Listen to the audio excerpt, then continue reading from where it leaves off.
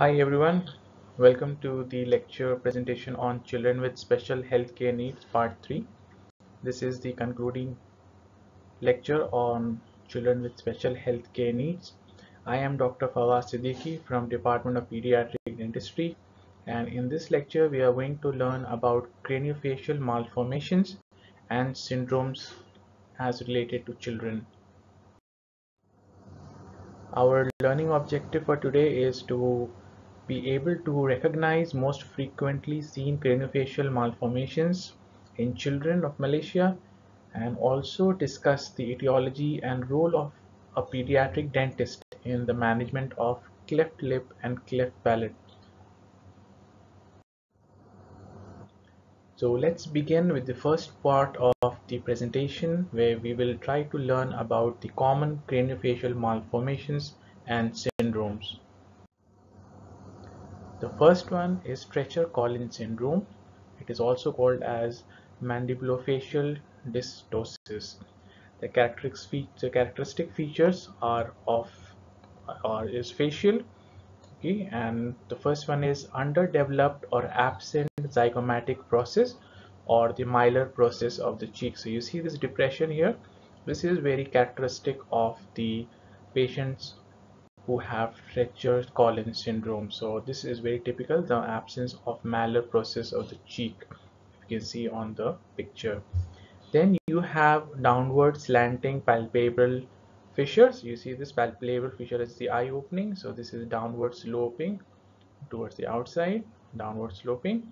And then you have underdeveloped mandible with macrognathia pharyngeal hypoplasia and due to this underdeveloped mandible and pharyngeal hypoplasia these children have difficulty in breathing and in feeding and they also have choanal stenosis or atresia. That means the development of the uh, inner anatomy of the nose and then they also have conductive hearing loss. So this is the Treacher-Collins syndrome. You should be able to at least recognize a suspected case of Treacher-Collins syndrome and then of course your job is to recognize and do the proper referral. Let's see another one. Hemifacial microsomia. Okay now this is asymmetric unilateral craniofacial malformation and it is characterized by macrostomia ear tags and epibulbar dermoids. So here we can see the ear tags very characteristic. They come in a different features of severity right? And epi bulbar dermoids are the tumors of the eyes. So here also from the ear tags you can identify that something is happening. And as the name says hemifacial so it is a unilateral uh, craniofacial deformity then we have hemifacial atrophy right it is also called as Parry-Romberg syndrome and the characteristic features are atrophy of various tissues of one side of the face. When you say various tissues, it includes everything from epidermis and fat and muscles, everything, everything. So you see in the picture here, this is a progressive hemifacial atrophy. So this part of the face, which is again unilateral uh, deformity, this goes progressively. Atrophy is seen on one part of the face right? So this side is a normal face. This part is getting hemifacial atrophy. So this is also a progressive disease. So uh, it continues on and then by the age of 20 it stabilizes. Along with the atrophy the uh, child can also have uh, eye problems. That means the eyes are buried into the socket because of the atrophy of the ocular muscles and then the patient can also have neurological complications like trigeminal neuralgia and hyperpigmentation of the skin. It's quite evident the girl has hyperpigmentation of the skin around the atrophied area. So this is hemifacial atrophy. Then you have hemifacial hypertrophy. Hemifacial hypertrophy again asymmetrical unilateral deformity in which uh, the part affected of the face shows hypertrophy. And when we say hypertrophy we are talking about all the tissues on that part of the face. If you see in the picture here this boy has the hemifacial atrophy of the right side. So you see all the fat tissues skin the muscles are all hypertrophied as compared to the other side. Then in the intraoral you see this part of the tongue is hypertrophied this part of the tongue is normal. And also you can see the teeth are also of the larger size. If you see the molar here as compared to the contralateral side. So this again is hemifacial hypertrophy hypertrophy of unilateral uh, face. Then we have Apert syndrome. This is a genetic syndrome and it is characterized by a multiple things like craniosynostosis synostosis. And this means that the during the development of the skull we have some soft fontanelles in the skull which accommodate the growing brain. And as the brain goes these fontanelles help in the expansion of the cranium. But in this syndrome the fontanelles they unite and they close early. And when the brain is growing it's trying to push its way out and then you have this abnormal shape of the cranium. Along with that you have mid-facial hypoplasia and you can also have cleft palate intraorally. Along with this you can have symmetrical syndactyly of hands and feet. That means the fingers are joined together and you can also have exophthalmos which is very evident in this particular child. The eyeballs is protruding out and again you have down slanting palpebral fissures strabismus and ocular proptosis so it's quite evident in this particular girl here. With this you also have hearing loss and recurrent ear infection. Basically because the development of this part of the auditory canal is all affected because of the closure premature closure of the fontanelle and one of the lesser severe forms is also called as Crouzon syndrome. Of course all syndromes they share similarities only mild differences.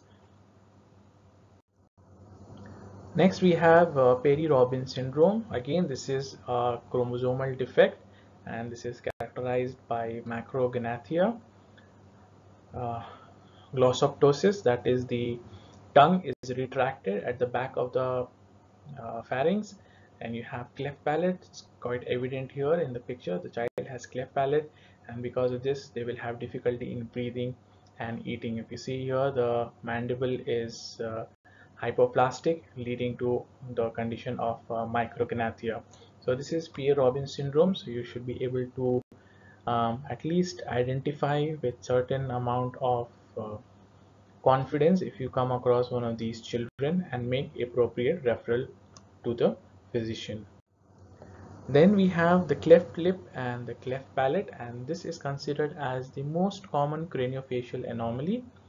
And the global incidence is from 0.28 to 3 point or say 4 uh, children per thousand live births will have cleft lip and cleft palate. And together if cleft lip and cleft palate if they occur together they will um, account for 50% of all the cases and isolated cases of cleft lip or isolated cases of cleft palate account for 25% of the cases. And uh, the cause is mostly genetically determined and we don't know exactly what causes it. Is it uh, teratogenic influences of alcohol or smoking? So we are really not very sure on the uh, the cause of cleft lip and cleft palate. You have the developmental process the frontonasal eminence the maxillary process which is the stomodeum the oral cavity and then you have the mandibular process. And then we also have the medial nasal process here the lateral nasal process and the nasal pit.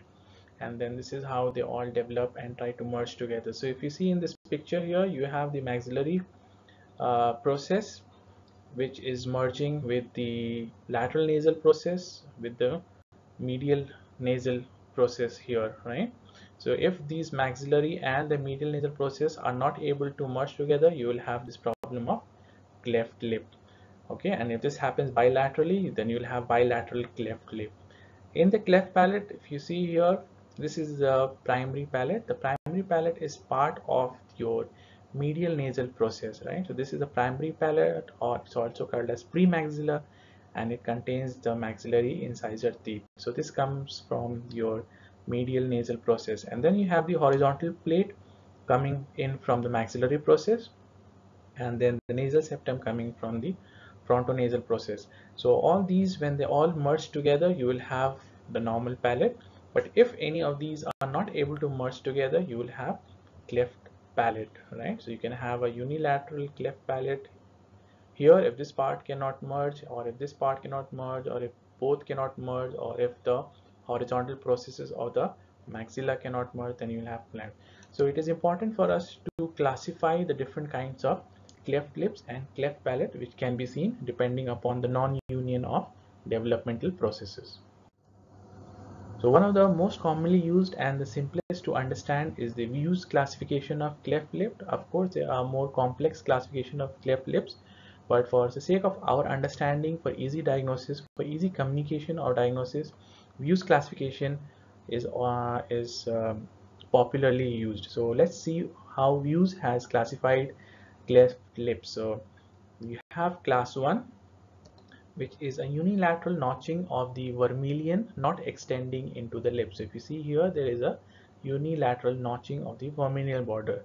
So this is class 1. The class 2 is when it gets more severe which is unilateral notching of the vermilion border with the cleft extending into the lip right? So here the lips is involved but not involving the floor of the nose. So the floor of the nose is not involved here in this case right? So this is class 2 class 3 is again unilateral clefting of the vermilion border of the lip extending in through the lip into the floor of the nose. So this is class 3 and class 4 is when you have bilateral clefting of the lip whether it is an incomplete notching or whether it is a complete notching. So in this case you can see both incomplete notching and a complete notching involving the full lip. So this is class 4 so Veau's has classified cleft lip class 1 2 3 and 4 and you can very easily remember by remembering notching of vermilion border notching of lip notching of the floor of the nose unilateral. And bilateral is class 4 now Veau's has also classified cleft palate alright? So again there are four classes from class 1 to class 4 so let's see. Class 1 only involves a soft palate. So see here in this child this is the gum pad this is the hard palate and this is the soft palate. So ideally you have the union of the soft palate till here okay with the single uvula. But here in this case this is class 1 this is the uh, cleft of soft palate only then we have class 2 which involves soft palate and the hard palate but not the alveolar process. So this is class 2 so soft palate plus hard palate. So class 3 very easy to understand. And remember soft palate hard palate and a unilateral involvement of the alveolar process right? And then the class 4 is soft palate hard palate and bilateral involvement of the alveolar process. And here the premaxillar portion is very very mobile because it is only attached by the soft tissue of the face. So there is no support. So this part is very very mobile. We will see a few slides later how they look clinically. So for us remember we use classification of cleft lip and cleft palate. So when it comes to the management of cleft lip and cleft palate okay uh, there are different stages and there are different procedures done in the different stages. So it is important for us to remember uh, for a child at what stage of management the child is in and what procedures can be done. So the first stage is your infant appliance stage. So from birth to 18 months of age and in this stage there are a lot of things that needs to be done immediately. So one of them is intraoral maxillary obturators pre-surgery maxillary orthopedics, cheiloplasty, which is the lip surgery, pre-surgery maxillary orthopedics, then you have primary alveolar cleft bone grafting, that is the grafting of the bone in the cleft area. Then you have palatoplasty, which is the repair of the palate, cleft palate, and of course the dental care. All right. And uh, the second stage is the primary dentition, so 18 months to 5 years. So this is your stage of primary dentition, which mainly more looks towards maintaining of good oral hygiene. And then you have mixed dentition stage from 6 to 11. and here is where you do your secondary alveolar cleft bone grafting so again this is a second procedure surgical procedure where you do bone grafting in the cleft area and then the dental care which continues and the last one is the permanent dentition stage which lasts from 12 to 18 years where you have to take care of the oral hygiene and then the patient can undergo orthognathic and cosmetic surgery to correct the defect of cleft palate or cleft lip. So now let's look at uh, these stages individually. So stage 1 that is the infant appliance stage. So you have something called as intraoral maxillary obturator. And this is something that you need to fabricate as soon as the child is born particularly within two weeks of birth. And the reason why you have to do this is because in cleft lip cleft palate the child there is a communication between the oral cavity and the nasal cavity. So every time the child wants to drink milk right he aspirates it because a soft palate cannot control the flow of the milk right? And then the milk also comes out through the nose because the palate is not there there's nasal regurgitation. And then the child also sucks in a lot of air during feeding which gives him abdominal distension. And this causes a problem of malnutrition in children. So there you will see the children are not gaining weight which they are supposed to do uh, after birth. So this uh, to overcome this problem we have to fabricate something called as intraoral maxillary obturator or simply an obturator so what is an obturator is it is a prosthetic uh, appliance which provides a false palate against which the infant can suck reduces the incidence of feeding difficulties in the newborn and helps maintain adequate nutrition. Not only this, but it also helps uh, in cross arch stabilization and prevents arch collapse after a definitive cheiloplasty that is a surgical closure of the lips. We'll see this a little later when we talk about the surgery itself. And it also provides maxillary orthopedic molding of the cleft segments into approximation before primary alveolar cleft bone grafting can be done so don't worry about all these things uh, as we go through the uh, presentation you will uh, begin to understand why what this all means so for now just remember it's an obturator which gives us a false palate. It's a prosthetic appliance which gives a false palate to prevent uh, to help the child during uh, the feeding. So when the child is able to feed properly is able to gain weight then only we can perform any kind of a surgery on the child. Otherwise the child is at risk of dying during the surgery because of low birth weight so here in this slide uh, I have tried to show you how the maxillary obturator is made. So here in the first picture if you see this is a child and this is the alginate impression has to be taken and this is a custom made tray right? So you have to really make a custom tray using shellac base plate or cold cure acrylic uh, so that uh, the plate covers the maxillary arch of the child. So normally uh, pediatric dentistry department has a lot of sizes of these plates. So you basically take these custom made plates check which size fits and then you can take a maxillary impression using alginate. Make sure the child is upright and bending forward to avoid any aspiration of the material. So you can use alginate also. You can use rubber based silicone material also anything. But ensure that nothing should go down the throat of the child and therefore emergency resuscitation equipment must be present when you are doing this procedure of impression taking so it's not to be taken very lightly. In this particular uh, picture you have the impression taken from the child and you can see this is the cleft part here which is the raised part and this is your the alveolar process. So one alveolar process is here the other alveolar process is here right? So what you do is you pour the cast. In this picture you see a stone model is poured and then you have marking to delineate how the obturator and then you block out the undercuts and then you use cold cure acrylic to fabricate a uh, plate which looks something like this right? So you this part is the elevation which was here. So this part is where the depression is. So this is where the uh, plate has an elevation. And then when this plate is put into the child's mouth it looks something like this. So see the uh, palate is closed right and this is the vertical extension into the nose So normally nothing happens to the plate because the plate is fitting on the alveolar ridge. So there's no chance of uh, the plate slipping down the throat of the child. This is well fitted because of the impression uh, taken and the child can continue feeding till the time he can gain weight and we can do uh, some kind of surgery. Remember we talked about uh, surgical repair of the lip, the cheiloplasty, and this repair of the lip is what we are talking about. So this case is a child with a cleft palate along with cleft lip together. So this is how you make an obturator.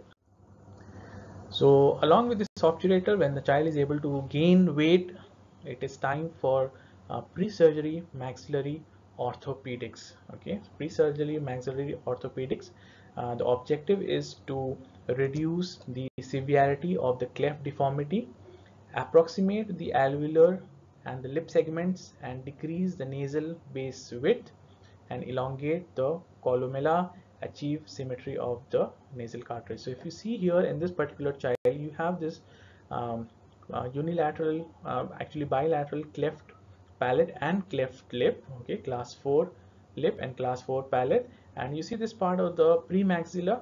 Remember we talked about the one that is mobile and this one is mobile and to one side of the face. So what this pre-surgery maxillary orthopedics does is this tries to bring this segment of the maxilla which is called as a lesser segment towards the midline. Okay so this if you try to get this segment using orthopedic force towards the center this cleft width will reduce in size all right so this is one objective to reduce this uh, uh, the cleft segment the width. Then the width uh, decrease the nasal width also. So if you see the nasal width is also more on this side less on this side. So this when you try to bring this lesser segment of the maxilla towards the center you try to close this cleft as much as possible so that we can do uh, surgical repair of the lip. So if you try to repair the lip here okay so what repairing of the lip does is you take this portion of the lip here you take this portion of the lip here and then you stretch it and then you suture it in the uh, uh, suture it together. So this you cannot do because the tissue is so less the soft tissue is so less you really cannot stretch the lip so much. So what you have to do is you have to try to get things as close as to the normal so that the cleft reduces the soft tissue grows and then we can close the lip so this is what is pre-maxillary orthopedics so pre-maxillary orthopedics requires a special kind of obturator and the procedure is called as nasoalveolar molding, very commonly used nasoalveolar molding. So again in the picture if you see here this child has got the premaxilla deviated to one side with a big cleft here and surgery is out of question. You cannot do any surgery unless you get this portion back into uh, its original place as much as possible. So you have this uh, appliance all right with this is called as the nasal extension and when the child is, is, is constructed similar to your uh, obturators how you construct your obturators but only the thing is here that this portion of the appliance will exert force on the premaxilla and try to bring it towards the center right so how you do it is through this elastic uh, tapes which is available by 3M it does not cause any harm to the child. So if you see this appliance is fitted into the patient's mouth right? And you see this tape is uh, put on the child's face quite tightly. So you see here's wrinkle on the skin right? So this is how uh, the tape is exerting the force on the premaxilla to bring it into the portion while the nasal extension is trying to increase the length of the columella that is the nose right? And trying to get the things as close as to normal so here if you see in the cast here, so you have this premaxilla which is quite hanging out of the question. This is the lesser segment. These are called as the larger segments and you see this cleft here and this cleft here. So once you do your nasoalveolar molding, you can see the premaxilla has uh, come back and this part of the cleft has reduced in width and this part of the cleft still is remaining. So more or less we have achieved uh, nasoalveolar molding or pre-surgical orthopedic uh, stage. So now it will be easier for us to do any kind of lip repair. So this is nasoalveolar molding.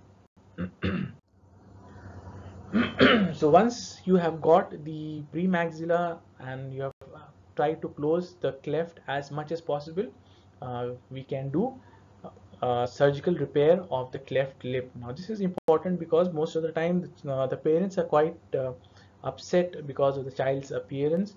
And if you perform a lip surgery which is done normally by the age of uh, three months the lip is repaired and the parents gain some confidence uh, and they begin to accept the child because now the child is looking more normal. Otherwise they are quite apprehensive as to what has happened to the child and what will the child have his life like. So this is a very important step the surgical repair of the lips and when you're doing the surgical repair of the lips you also do primary nasal reconstruction uh, construction uh, together with the lip repairs. You try to get the lip together. So in this case that I have uh, picked up from the literature it does not have a nasal cleft uh, involving the floor of the nose. And uh, the surgeons here have tried to close the lip using an overlapping method for these two cases and interdigitation method. Uh, for the child. So this is how they perform the surgery. Uh, taking this side and taking this side and then stretching them and then closing it together. So when you close this lip this lip kinds of uh, puts a pressure on the uh, premaxilla which was protruding out once upon a time. So still protruded out. So closure of this lip also causes pressure on the premaxilla to uh, retrude back but if the premaxilla is extruded too much and you try to close the lip over that extruded part what will happen is something called as lip dehiscence where the sutures will open up and will have failure of the surgical repair. So it is very important that you uh, perform premaxillary orthopedics before you do the lip repair okay? So now after you've done the lip repair you go ahead and do post-surgery maxillary orthopedics right? The same thing like I've shown you in the picture here. You have this cleft so much right? So again you have to put in an obturator and do nasoalveolar molding further to reduce this cleft by applying pressure through the uh, uh, nasoalveolar molding okay? So this will uh, also protect the maxilla because if you uh, like I told you before the lip will be causing uh, uh, will be causing a tension here which will be causing the premaxilla or this part of the maxilla to move back. And this tension this force may cause the this larger segment and this larger segment to come together in a horizontal uh, axis whereby you will have a problem called as maxillary collapse. And we don't want a maxillary collapse. We want to maintain the maxillary arch width so that it can accommodate all the teeth that the child will have during his primary dentition. So to avoid that we have to do post maxillary uh, post surgery maxillary orthopedics. So we have to put an obturator which can cause some kind of force not only to close this gap here but also to maintain this arch as much as possible which is called as cross arch stability. And uh, once you do this post surgery maxillary orthopedics then you will have a very good close approximation of the uh, lesser and the larger segment of the maxilla. So if you can see all these green dots are more or now more or less now aligned together. So once this alignment has taken place you will understand that the width of the cleft has reduced tremendously right? First from the pre-maxillary orthopedics then from the post max uh, post surgical maxillary orthopedics the cleft reduces in width quite a bit.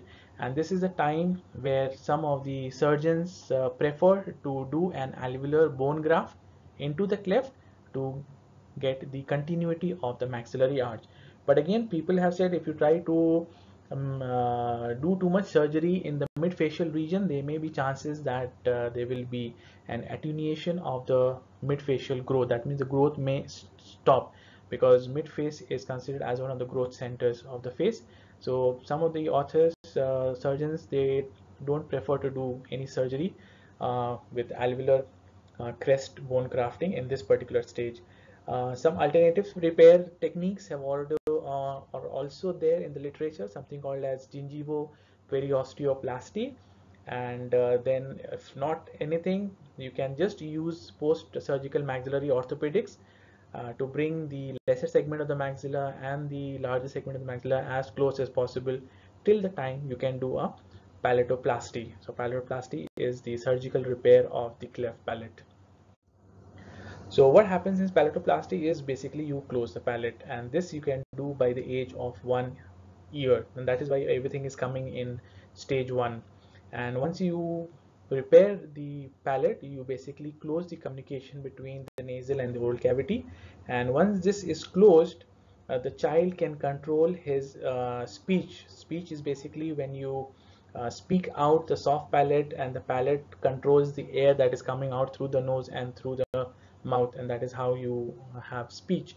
So this is uh, palatoplasty facilitates the acquisition of normal speech. And if you see it has to be done by the age of one year because that is the time the children start to develop speech. So if you delay this too much the child will not develop normal speech and then he will have uh, faulty speech which will require a lot of time to correct. So not only speech but this also improves the hearing and swallowing by aligning the cleft uh, uh, the palatal cleft musculature right? So the child will start gaining control over the muscles of the palate the soft palate. And uh, once this is done the speech therapy is required and it is very critical for the children to develop normal speech.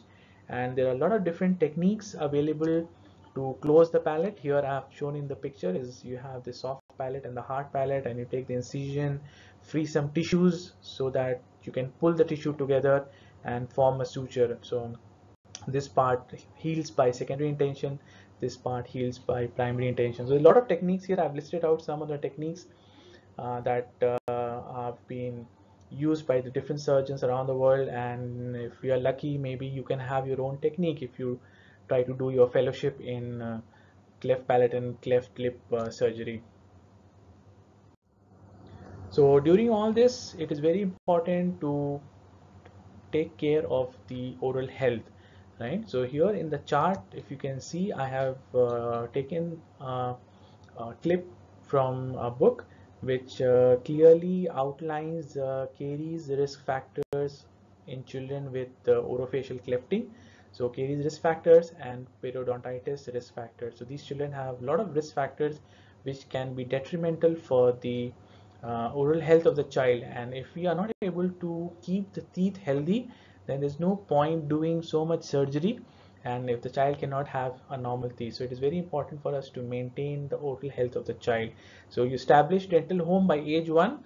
Okay this part is covered in your preventive dentistry part one uh, where we talked about the dental home. So you have to establish dental home and do all the things that has to be done in a dental home and the focus is on the prevention and monitoring of developmental issues okay? So just uh, list out a few things. The caries risk factors is uh, these children have uh, enamel defects and these uh, children have parents who have so much surgery done so much medical attention that they give very low priority to the oral health okay? And these children have this acrylic obturator which makes it the cleaning of the obturator important then these children have a longer oral clearance time. That means what they eat they take a lot of time to swallow it because they have difficulty in chewing and of course in the feeding.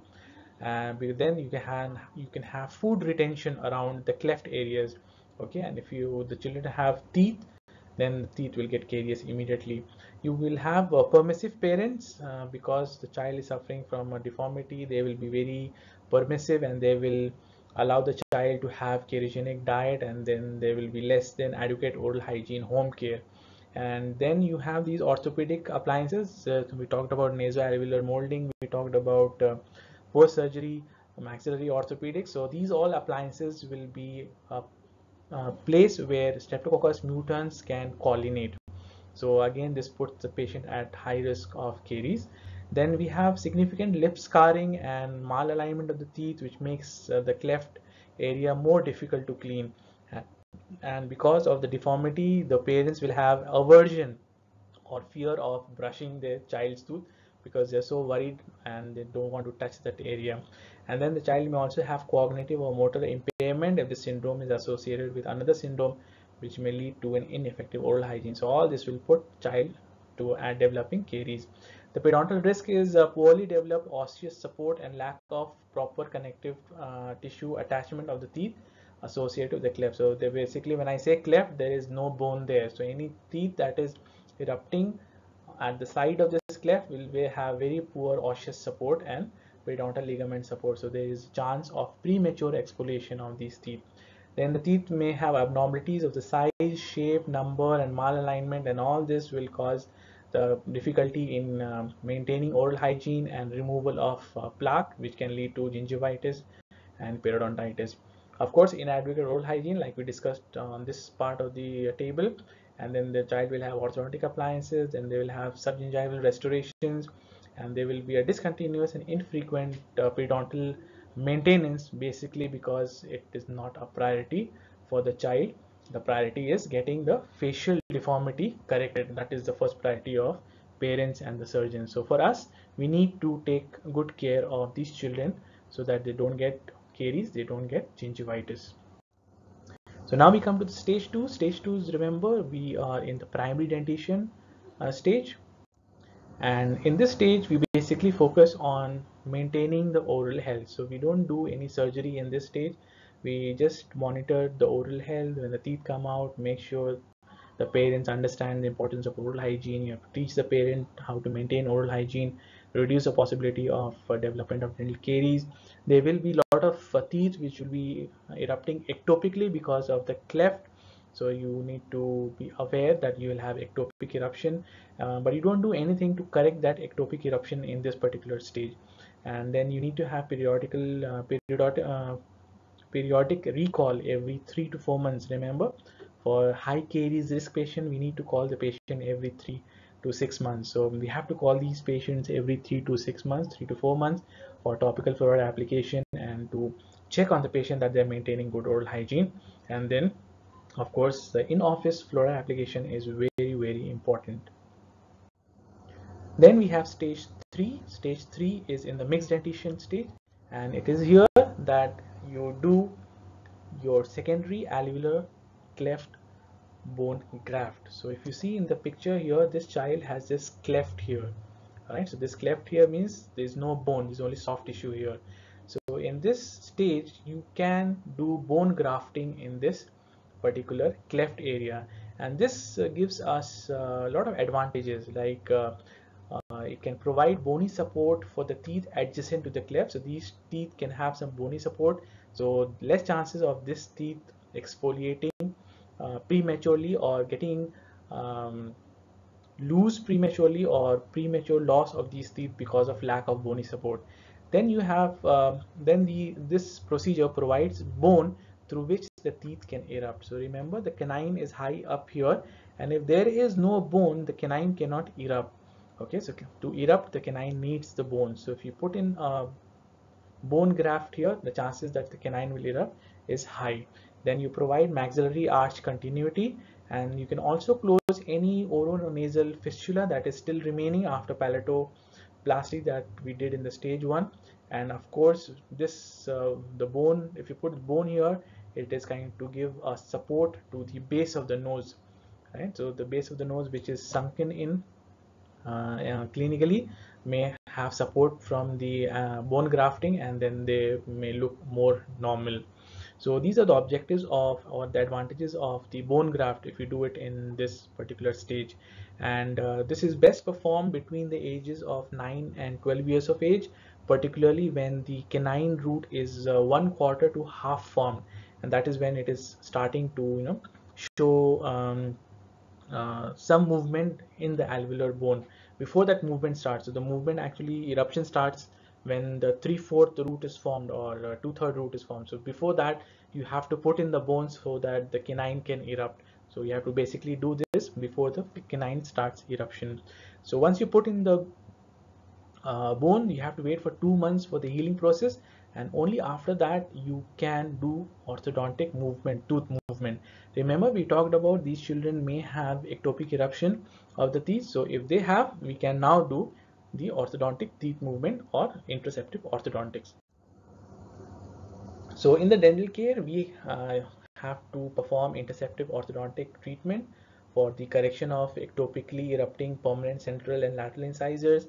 And uh, we have to uh, correct the cross bites of the posterior dental segment. Remember, we talked about that if you don't support the larger segment alveolar process and there may be a collapse of the maxillary arch. So if you have this collapse, this is a time when you start to expand. When expand is this is a good time because you have already put your bone graft into the cleft area. So if you have not done bone grafting in the primary uh, stage, this is the time if you do, you have much better results. So now the bone is in place, the healing has taken place, and now you can do maxillary expansion, the bone will expand.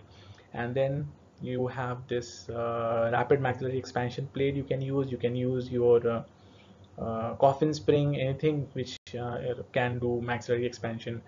And then also because of these rotation of the maxillary, you may have uh, traumatic occlusion on the mandibular incisors like stripping of the gingiva okay or mobility of the lower incisors. So it's very important that we perform interceptive orthodontic correction of all this. So maxillary expansion is done in the posterior segment and once this condition is corrected we can put in a Hawley's appliance for retention of whatever tooth movement we have achieved. So this is the dental care that we have to provide in stage 3 also with the interceptive orthodontics it is very important that during this stage the child will start to go to school. And um, they, he may feel uncomfortable with his appearance and he may be a, a victim of uh, bullying, uh, uh, bullies in the school. So it is very important to provide this psychosocial uh, support. So how do you do that is you can provide an interim prosthesis to improve facial appearance. So if you see here, this is the prosthesis that has been provided for the child who does not have any anterior teeth. So if you see here, this is how the prosthesis will look. This is the extension and the prosthesis. So this will give some kind of, this will give some uh, psychological support and confidence for the child to attend school and to mix with friends. So very important. And then you have to periodically adjust this prosthesis to adjust for the developing dentition. So when the premolars or canines start to erupt maybe you have to change the design of the prosthesis and things like that. And in this stage you can also do a revisional surgery of the lip and the nose. So initially if the deformity of the lip or the nose was too great to be corrected in one surgery this is the time you can perform another surgery to uh, correct the lips or the reconstruct the nose this uh, is uh, when the child uh, comes to the stage 4 so let's see what we do in the stage 4 so stage 4 is uh, when the child is having his permanent dentition and this is the time when you do your orthognathic surgery and cosmetic surgery. So orthognathic surgery we will do for the maxilla or the mandible whichever. But the important thing to remember is that before you do this surgery the child must have attained his full growth of the jaws right? And then all permanent teeth should have erupted except the third molars. And this will signify the child has reached his growth. And that is the time you want to do orthognathic surgery. So if you remember from your uh, orthodontics if you do orthodontic surgery and the growth potential is still there the deformity will come back or the deformity will become more severe. So you have to wait for the growth to be completed. So tentatively the boys uh, the growth is complete by 17 to 18 years of age uh, 18 years of age and for the girls the growth is almost complete after 15 years of age. Remember the boys have two years of more growth spurts than girls. Remember from development of um, development and eruption we discussed this. And then you can perform the Le Fort osteotomies to get the orthognathic surgery. Basically the maxilla is uh, underdeveloped because of the clefting. So you can do these surgeries to correct the retrognathic mandible retrognathic maxilla so along with that orthodontic surgery, you also have to do cosmetic surgery. That means uh, you can do nasal bone surgery to restore the projection, the symmetry. You can refine and uh, the nose itself, which can improve airflow through the nose uh, very much. You can also correct the cartilaginous nasal tip, right? So if it is deviated to one side, you can have a surgery to correct the deviation of the cartilage, cartilaginous uh, part of the nose and it's a common deformity um, secondary deformity uh, repaired unilaterally and then of course last this is the last time you can do a lip surgery to correct too short lip too long a lip or a very tight upper lip and then you can also correct any deficiency of the vermilion tissues of the lip or any residual notching of the lip. So this is your last lip surgery that you should do for this child and this will complete his stage 4. So this uh, are where the stages of management of the teeth. So now let's look at in particular uh, children with cleft lip and cleft palate have a higher incidence of certain dental abnormalities. So what are those abnormalities? They have higher incidence of natal or a neonatal maxillary central incisor. You see here, this is a newborn child with a uh, neonatal maxillary incisor teeth right here. So it's very common. Then you can have congenitally absent primary and permanent lateral incisor. Because of the clefting, it is possible that the the tooth germ is not there at all. So the congenital absent tooth. Then you can have congenitally missing second premolars also. And then you can have supernumerary because of the clefting, the tooth germ may divide into two or three germs. And then if you can see here, you can have supernumerary teeth, especially in the part where the premaxilla and the horizontal plate of the maxilla they join up there. So you can have a lot of supernumerary teeth. And of course you can have ectopic eruption of primary lateral incisors and the permanent canines palatally because these are the teeth that will fall in the cleft area. So depending on how the bone is growing how the cleft is closed you can have this ectopic eruption. Along with this you will have uh, enamel hypoplasia microdontia or macrodontia, fused teeth, abrasions of the crown shape of the primary and the permanent maxillary incisors. So this is basically because all tooth germs in this particular area will be affected. You will have premature loss of teeth in the cleft areas like I told you before because there is no bony support, there is no periodontal ligament support. These teeth may these teeth may become loose and fall off prematurely. So this could be your primary incisors, primary uh, permanent lateral incisors, all those teeth. Then you can have collapse of the maxillary posterior segment with posterior crossbite. Remember we talked about collapse of the maxillary segment. So you can have posterior crossbite. So these children have posterior crossbite as well. Then trauma from occlusion uh, to the mandibular incisor because the maxillary incisors are ectopically erupted and rotated and then they will be causing abnormal forces on the mandibular incisors. And the mandibular incisors will show signs of trauma from occlusion. Then you can have traumatic anterior end-to-end -end occlusion or an anterior crossbite and you can also have a convex lateral facial profile. So if you see in the picture here, the development of the maxilla is severely affected. So the child can have a convex profile. So these are some of the things which are more commonly seen in a child with cleft lip and cleft palate, which we should be aware of. So what is uh, the role of pediatric dentist in all this? All right so as you have already seen during the management we had these dental phases right? So if if uh, we try to summarize this is what uh, we will get. So we have to ensure two things. One is the preventive dental care going. So you have to use fluoride supplements dentifrices and the mouth rinses depending on the caries risk of the child. You have to ensure the child maintains good proper dental hygiene. Maybe you want to instruct the patients instruct the child the different brushing techniques that has to be used the modified brushes that you have to use all this you have to take into consideration. And then you have to maintain the continuity of care necessary during the extended treatment. So if you see from the management which starts right after birth and ends in the child when the child is about uh, 18 years old stage 4 right with his cosmetic surgeries and orthodontic surgery so your care has to continue uh, preventive care has to continue all through.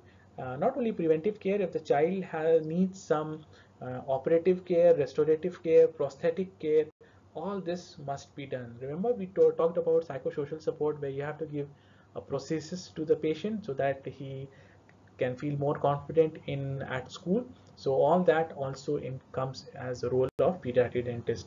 And of course, uh, the pediatric dentist is also responsible to uh, perform the pre-surgical and post-surgical treatment phases of uh, maxillary orthopedics by fabricating obturators and by fabricating uh, and by performing nasoalveolar molding. Of course, this sometimes overlaps with the uh, functions of an orthodontist, uh, but more or less the pediatric dentistry is the one who is coordinating all this treatment.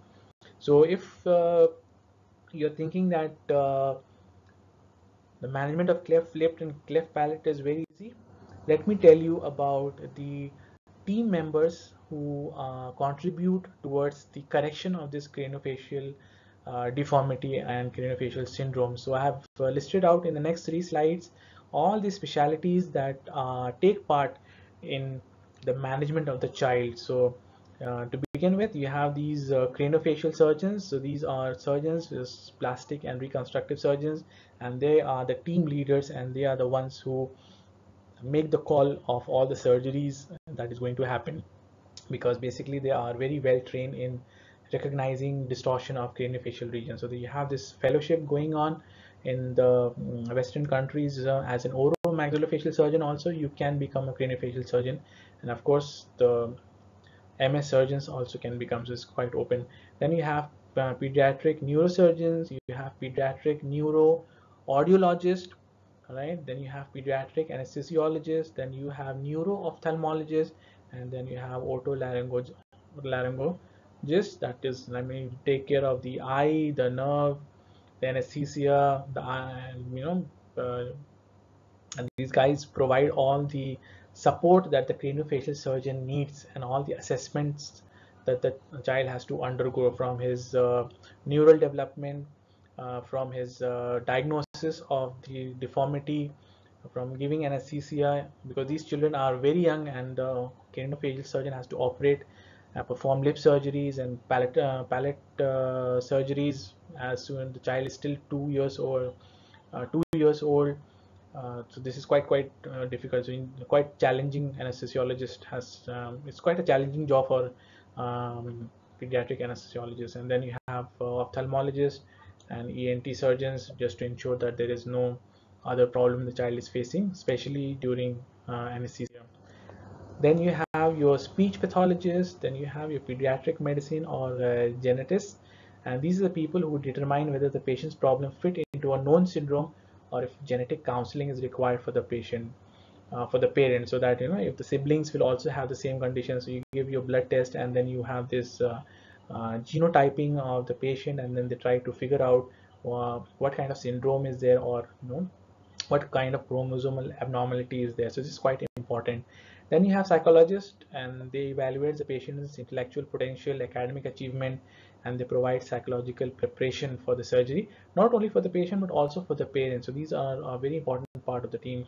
Then you have the social workers and this social worker is basically the person who meets up with the parents uh, to obtain the family history and assess coping abilities and expectations and provide referral for community resources and basically you know support the family and the patient through the difficult times of all those surgeries uh, by being there for them.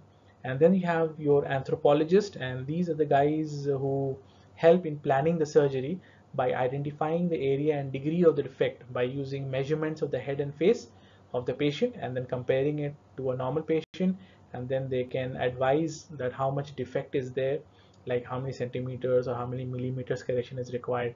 And after surgery they try to follow the growth pattern and try to aid the craniofacial surgeon if something is going uh, out of hand. Then you have a medical artist and these are the guys who use photography uh, photography and data from the anthropologist to draw a patient's ideal face and this drawing provides a visual model for the surgical team to work with. So how the patient should look in the end beyond the surgeon should know in the start so they can they adjust their surgeries. Then you have the photographer. Photographer is the one who takes all the pictures and which is very important for treatment planning and research. And then you have craniofacial nurse coordinator. These are special uh, trained nurses who provide uh, education in the preparation for the surgery for the parents and serve as a patient family resource as well as a, uh, coordinate the treatment with all other specialties as well. Then you have team secretaries. Basically this is an admin job which who arranges clinical appointments and schedules and transportation and the lodging arrangements for the uh, families for when they come in for surgery or checkup and then we have uh, us here pediatric dentist we provide the preventive care educational and therapeutic services related to oral hygiene. So basically our domain is to protect the child from caries and from periodontal diseases. And then the orthodontist who has to plan orthodontic treatment and surgical correction of the malocclusion maybe orthognathic surgery interceptive orthodontics or uh, fixed orthodontics uh, when the child is old this all falls under the domain of orthodontist so with this I end my session uh, with the small information that in Malaysia there is a cleft lip and a cleft palate association of Malaysia okay and they are trying to work their way by uh, increasing the awareness of cleft lip and cleft palate. So if you are interested in the topic maybe you want to get in touch with them and they are doing a lot of fundraising activities like fun run and fun activities and you can associate yourself um, with this association. One more um, uh, book that I came across. I have not read it personally but uh, I am reading quite a good reviews about this book written by uh, uh, Noura Abu Hassan. And uh, she is a patient or she was a patient of cleft lip and cleft palate. And in this book she has described her journey on how she has dealt with her uh, situation of cleft lip and cleft palate. Okay so this book if you can get hold of this book uh, maybe you want to read this book and uh, they, I'm sure there's a lot of uh, um, interesting insight into the lives of uh, people with cleft lip and cleft palate. So uh, with this uh, I end my presentation and I end the series of lectures on children with special healthcare needs. We will be starting a Google Classroom and if you have any questions you are most welcome to put it on the Google Classroom where we will also put in some uh, assessment questions for you for uh, assessing your knowledge and for your own self-assessment. So that is it from me uh, for now and I'll see you in our next class. Bye-bye.